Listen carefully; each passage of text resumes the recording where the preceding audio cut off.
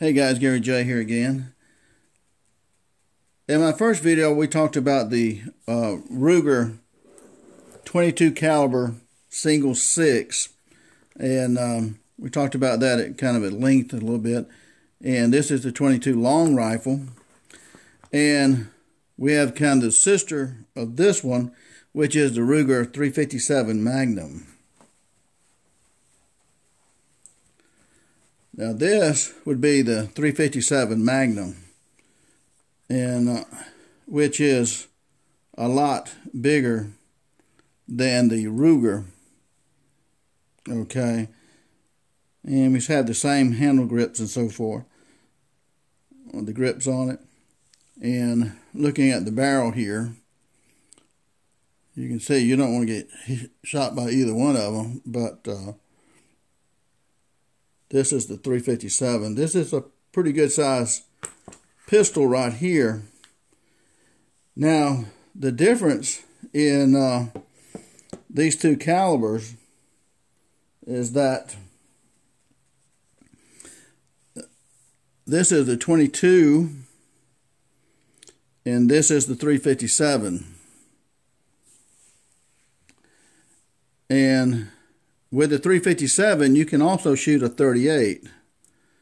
And this would be your 38. If you look at this, the length of the brass right here, the brass is about eighth of an inch shorter than this brass. So the 357 is a lot more powerful than the 38 special. And then we have our 22 right here. So looking at the um, 357, which is really a pretty huge pistol right here, is really a nice pistol. And it's just like the uh, the 22. It's got really nice high sight on the front here. It's got a really nice adjustable sight here on the rear. And uh, you can adjust it up and down, right and left. Uh, it works just like the other one did. Um, on these right here, pull all the way back. The trigger pull is really, really sweet on this right here. Mean, it's really crisp, really easy to pull the trigger. You won't pull yourself off on, on shooting this one right here. And uh, But on reloading this one, uh, the 357, same way, open up the gate right here. You've got your uh, cylinder here where you place your cartridge in here. We've already checked it. Was the gun is empty. And if you're not sure if a pistol is empty, like a, a one of these uh, single sixes, just rotate the cylinder around and around, and you can see all the cylinders. So you know that it's empty. So when you're going to load it, you're going to put your cartridge in here, turn the cylinder with your hand, put the next cartridge in, turn the cylinder again, put your next cartridge in, next cartridge. It holds six rounds like the single 622 does. Close your gate and uh, turn your cylinder with your hand, make sure it locks. And then hold your finger on the on the uh, trigger guard right here and aim at your target. And once you're there, pull your, your hammer all the way back and then place your finger on the trigger and carefully squeeze. Now, a lot of times we don't like to, to dry fire uh, pistols. That is just to, to take them and, and let them let the hammer fall uh, against the firing pin. Uh, sometimes it can damage a firing pin on some models. So anyway, um, so it's pretty simple.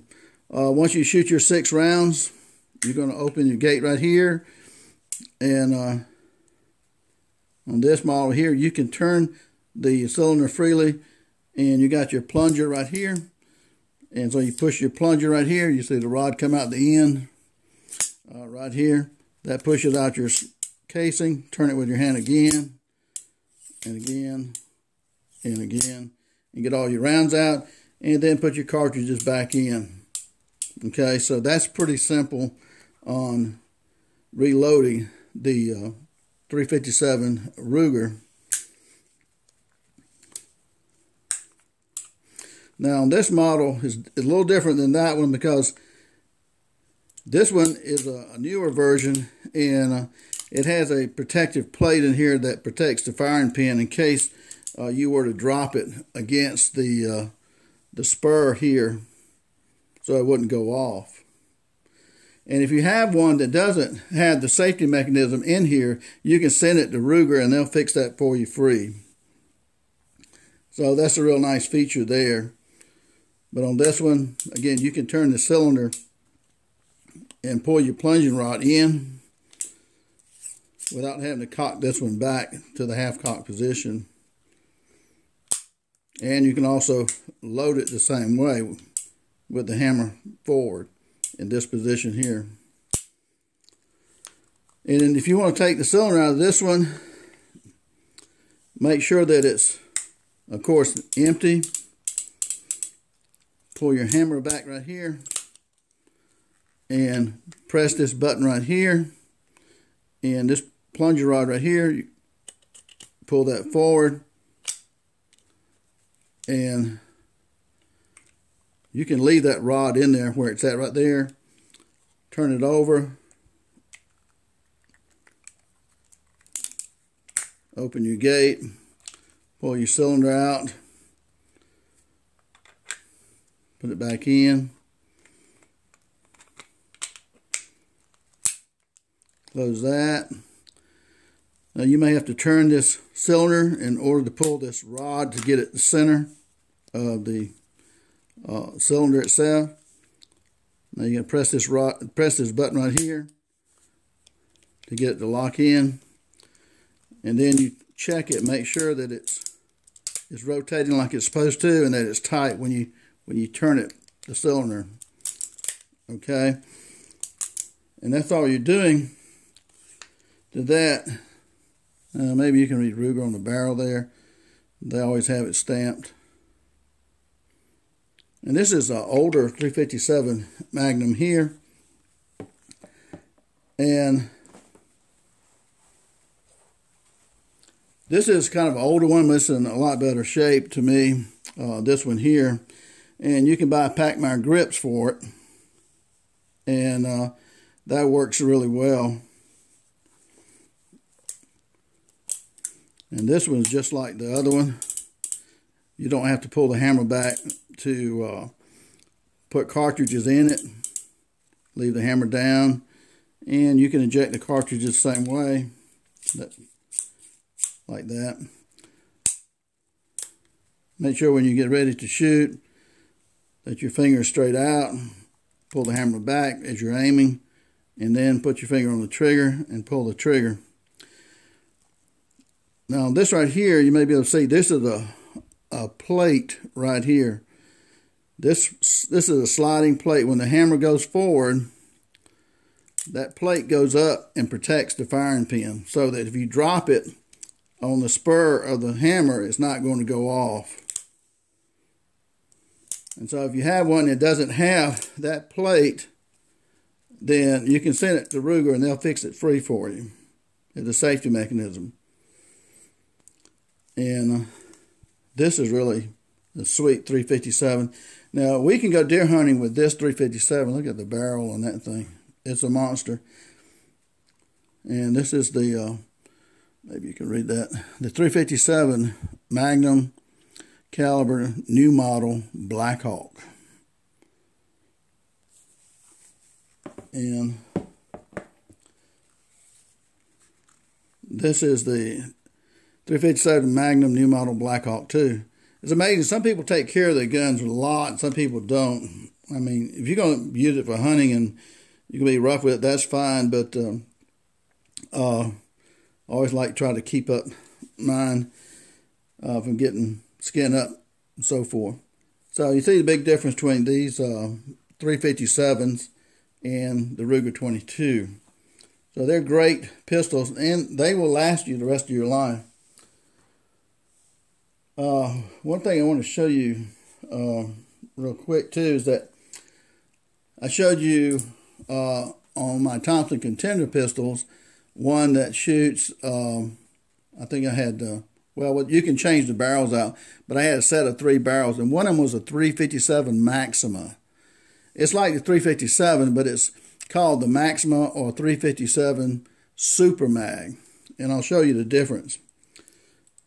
Whereas this right here is a 357 Magnum. That Thompson Tender I have will shoot the 357 Maxima. And this is the difference right here in uh, those two bullets. These are both 357s. Now the 357 will shoot the 38 Special, which is this one. So you can get two different calibers in the 357. The 357 Magnum will shoot the 38 Special too. They're interchangeable. Now they will hit at different points because one's got more power than the other. Now you can't use a 357 Maxima and a 357 Magnum, but that Thompson Contender barrel I had, I have, will shoot this big 357 Maxima, and you could shoot the 357 Magnum in that same barrel and the 38 Special. But most of the time, if a if a barrel is made or designed for a particular car, uh, caliber, that's the one you want to shoot in it instead of you know the versatility of it, shooting all three different ones. But just letting you know that you can do that. So the 357 Magnum, you can shoot 38 Special and 357 Magnum, of course, in these pistols. So you get kind of two pistols out of one. And uh, these are just great pistols right here. And uh, again, they'll last you a lifetime. You can go deer hunting with them, probably in most states, because they're so powerful. At one time, the 357 Magnum was the most powerful handgun in the world at one time. And I think it, it was replaced by the 44 Magnum. You might remember Clint Eastwood saying he had the most powerful handgun in the world, which was 44 Magnum. And then, of course, they always come up with something a little bit bigger. Uh, they like the 454 Casull and the 500 Smith & Wesson, which is kind of the top now, being the most powerful handgun in the world. So anyway, that's kind of how it works. So these are great pistols to have right here um, for protection, for uh, defense, and hunting and fishing. You can put, um, they make cartridges too with the 357 uh, that have like what we call a rat shot. It's got little beads in it to shoot snakes and stuff like that. It splatters out like a like a shotgun blast. So you can get those for these too and you can get them for the 22 as well. Shoot snakes and things like that. It just spreads out like a shotgun blast. So, uh, if you're looking for a good gun that will not hang up on you like an automatic will sometimes, uh, this would be a, a, really nice pistol to have. These probably run hmm, today five, six hundred dollars. You may find one at a pawn shop for like three hundred uh, if you're lucky. So always buy second hand. You can check them out and make sure that they're good quality. Uh, if you buy one in a pawn shop, that's usually the cheapest way to do it. Pawn shops are pretty high now because of Gunbroker and other uh, Guns America because they can sell them online and get a premium price for a lot of these pistols now. But I hope that helps you uh, in choosing maybe a single six type pistol. Great pistols by Ruger. Again, they last you they'll last you the rest of your life. Oh, I forgot to show you a pistol grip that I made from one of these 357 Rugers. And uh, this would be more of a target grip, I would say. And uh, I made this one out of a piece of wood It can be a little time consuming to uh, make uh, a pistol grip, especially doing the inletting for the frame and all. Well, it's not real, real fancy. I got a friend of mine that he can really make pistol grips. But with this one right here, see, it's, it's ergonomical, fits like a target grip uh, when you're shooting. And uh, it's a pretty good size um, grip here. So it really conforms to your hand, and if you're shooting like any type of real distance and you know really shooting for accuracy or hand loading, I hand load a lot of my cartridges, 357 and 38 and many others. So just want to show you that that you can you can buy some different types of pistol grips, but uh, and you can kind of make your own and use, a Dremel tool to uh, shape this up. But I thought I'd show you that what you can do also with the Ruger 357. Thanks for watching again, guys. Gary J.